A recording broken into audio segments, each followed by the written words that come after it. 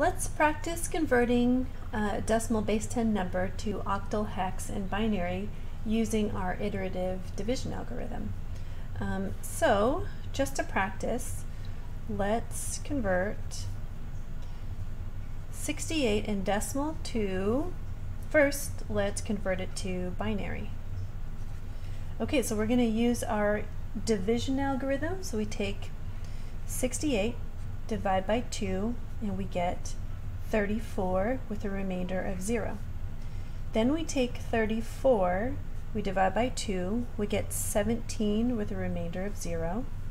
Then we take 17, we divide by 2, we get 8 with a remainder of 1. And then we take 8, divide by 2, we get 4 with a remainder of 0. Then we take 4 and divide by 2, and we get 2 with a remainder of 0. Then we take 2 divided by 2, and we get 1 with a remainder of 0. And then we take 1 divided by 2, and we get 0 with a remainder of 1. So now if you remember, our iterative division algorithm stops when this result is equal to 0. And then to get our binary number, we're going to collect all the remainders from bottom to top. Okay, so I'm going to get this one, zero, zero, zero, one, two, three, one, zero, zero, one, zero, zero.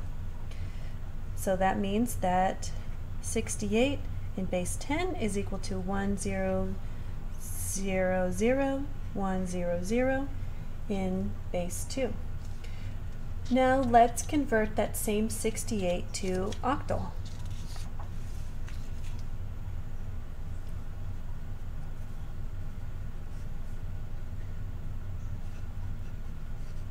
So we take our 68 in decimal, and now instead of dividing by 2, we're going to divide by 8, because octal is base 8. So 68 divided by 8 gives us 8 with a remainder of 4.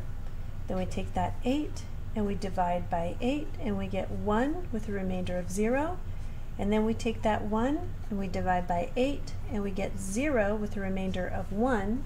The algorithm terminates when the last result is equal to 0 and then to get our conversion we collect the remainders from bottom to top.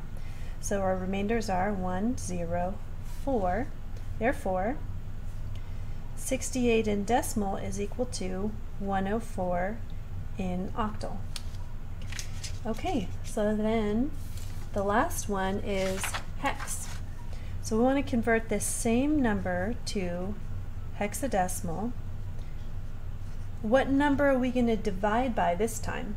If we divided by 2 for going to binary, we divided by 8 for going to octal, that means that if we want to convert 68 to hexadecimal, we're going to divide by 16 because hex is a base 16 number system.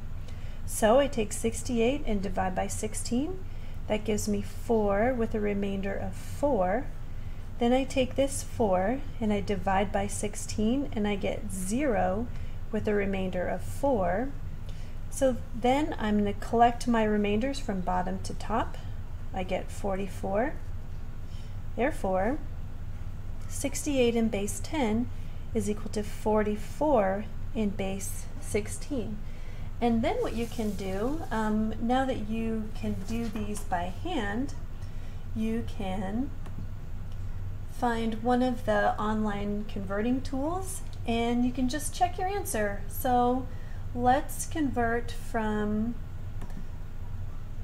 decimal to binary. Our decimal number we're converting is 68 and that gives me 100100. That's indeed what we got in binary.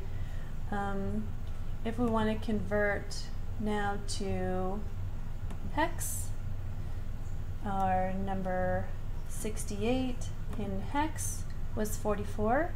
That's what we got. If we want to convert from decimal to octal, we can find that over here. Our decimal number was 68 and converting to octal was 104. And that is indeed what we got from our calculations by hand.